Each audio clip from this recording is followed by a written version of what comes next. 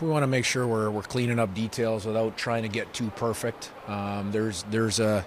you know there's a there's a fine line there, and you know what you know you just mentioned some a couple of the flash screens that have gone in front of our goaltenders. You know there was uh, there was one that happened in in Vegas. Um, you know and also you know in one of our uh, just I don't know if it was the Minnesota or the Anaheim game, but there's little details that we want to clean up.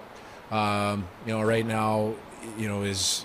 you know we're, we're playing pretty good hockey and we haven't had any any results to show for it. So we have to really focus on you know some of the little details that that we can clean up without taking away our enthusiasm without taking away our competitive spirit um, and all of those things that are very very important to, to maintain